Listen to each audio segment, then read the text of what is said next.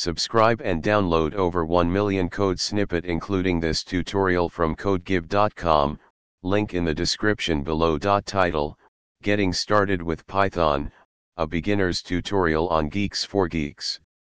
Introduction Python is a versatile and beginner-friendly programming language that has gained immense popularity in the tech industry.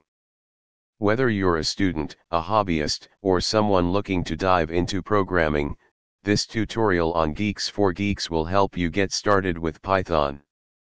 We'll cover the basics, syntax, and provide code examples to give you a solid foundation.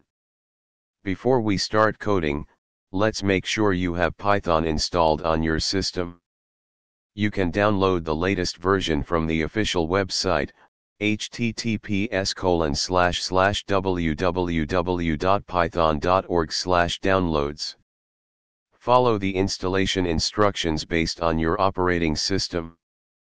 Open your favorite text editor or an integrated development environment, IDE, like VS Code, PyCharm, or Thonny.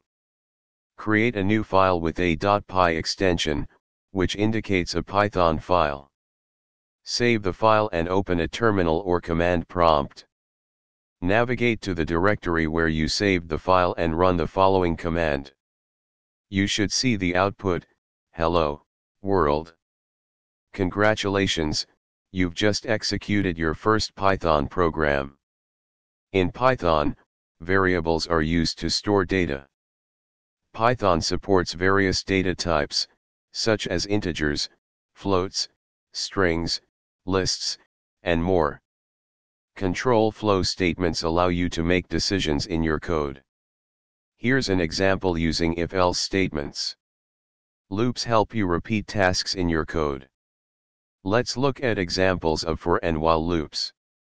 Functions in Python allow you to encapsulate and reuse code. Here's a simple function example.